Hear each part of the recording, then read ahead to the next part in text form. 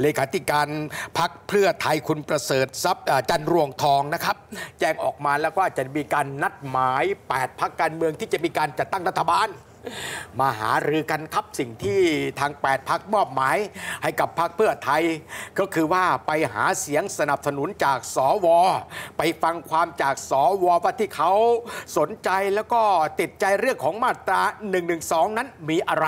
เพื่อที่จะนำมาเสนอนะครับให้พักกล้าวไกลได้ทราบได้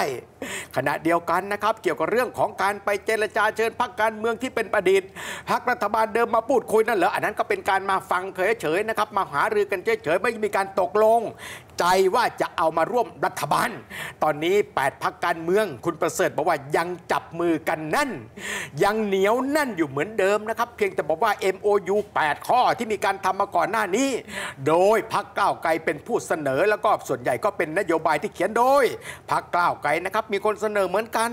โดยเฉพาะเรื่องของ 112 นะครับหรือมีการสนับสนุน คุณพิธาเป็นนายกรัฐมนตรีในข้อหนึ่งนั้น ตัดออกไปได้ไหมอะเพราะว่าอะไรครับ เพราะว่าเอ้าคุณณพิธาเสนอไปไม่ได้แล้วนะครับ ส่วน112อันนะครับไม่ได้เขียนไว้จริง แต่ไปฟังความคิดเห็นสวกันว่าเป็นไงบ้างนะครับอ้าวนะครับเหตุการณ์ทั้งหมดนี้ตอนนี้เผือกร้อนทางการเมืองมาตกอยู่ที่พักเพื่อไทยกระแสข่าวบอกว่า โอ้ถ้าก้าวไกลไม่อยู่นะครับป่านนี้ทุกพักการเมืองเขามาร่วมรัฐบาลหมดแล้วนะครับหรือแม้กระทั่งสวสนับสนุนคนที่จะมาเป็นนายกจากพรรคเพื่อไทยหมดแล้วนี่จะเป็นการผลักดันเขาไปหรือเปล่าล่ะนี่นะ